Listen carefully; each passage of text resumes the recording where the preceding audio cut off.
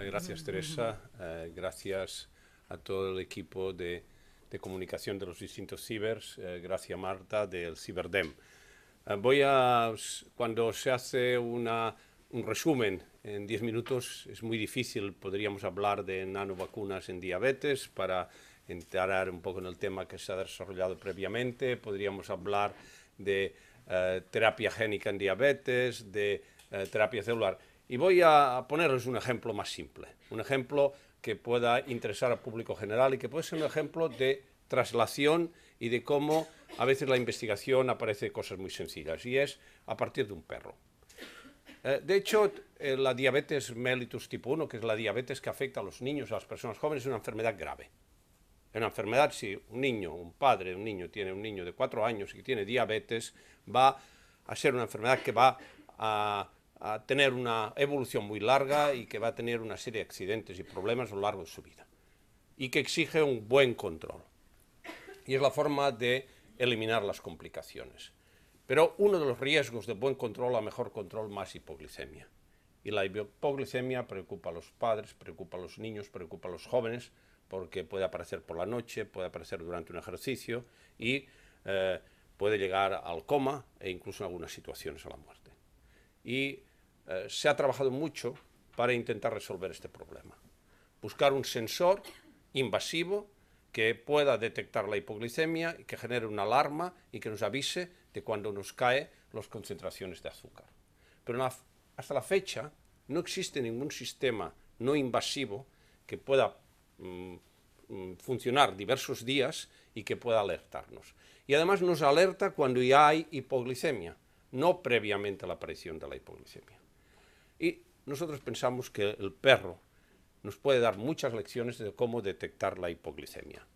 Y lo hacemos porque quien nos da la idea son las personas que sufren diabetes en Gran Bretaña el Reino Unido. Estas personas, muy observadoras, se dieron cuenta que el perro que tenían en casa, cuando había niños que sufrían una hipoglicemia, previamente a sufrir la hipoglicemia, el perro se agitaba, ladraba, se comportaba normalmente. Hicieron, los británicos, que son muy ordenados, hicieron una revisión observacional de todos los pacientes con diabetes tipo 1 al registro que tenían perro en casa y que quisieron colaborar. Y observaron que el 80% de las familias que tenían perro afirmaban que el perro detectaba anomalías se comportaba inadecuadamente previamente a la aparición de hipoglicemia. Y esto a dos o tres grupos internacionales nos dio una idea. ¿Qué le pasa al perro que no tiene el humano? Pues el perro tiene 300 millones de receptores olfativos y el humano tiene 3 millones. ¿Y qué, cómo se relaciona el perro con el humano? Por el olor.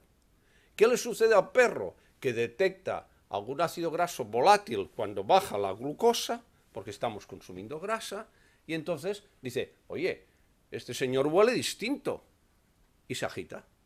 Ah, pasa alguna cosa. Entonces, pues bien, primera pregunta, ¿puede asistir un paciente durante una crisis si nosotros hiciéramos un ensayo clínico controlado y tuviéramos la seguridad de que un perro entrenado 100% de los casos detectara la hipoglicemia, pues entraríamos en una primera solución que un paciente que viviera solo o un niño, el perro, podría avisar a los padres que el niño va a sufrir una hipoglicemia. Primera cuestión, ¿qué tenemos que hacer? Un ensayo clínico comparado para ver si realmente conseguimos que el perro detecte el 100% de los casos de hipoglicemia y pueda detectar falsos negativos y falsos positivos. En esto estamos, pero esto no sería porque estamos hablando de traslación, para eso eh, no, no hay traslación, pero sí que nos puede servir para más traslación. Porque hemos dicho que el perro huele algo.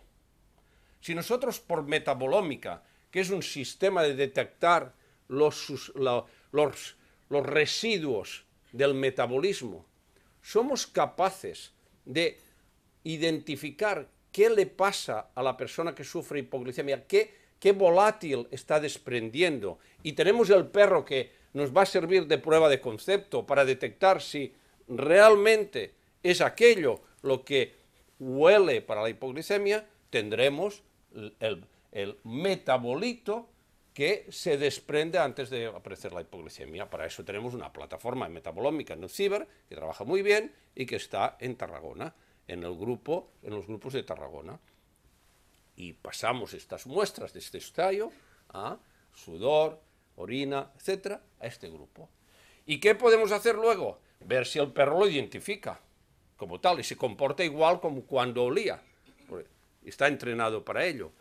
¿Y luego qué podemos hacer? Pues un sensor no invasivo, como una pluma, que cuando desprenda olor va a pitar, va a, dar un sonido. Y por tanto, no tendremos que pinchar y tendríamos tal. ¿Traslación a quién? Al mercado. Beneficio para el paciente. Este es un ejemplo, y podríamos tener muchos, de lo que creemos que puede hacer un ciber específico, sobre todo cuando agrupa gente, e investigadores de distintas áreas los epidemiólogos que nos detectan, los clínicos que hacen el ensayo, los bioquímicos y metabolómicos y los ingenieros que luego nos pueden hacer el sensor. Nada más y muchas gracias.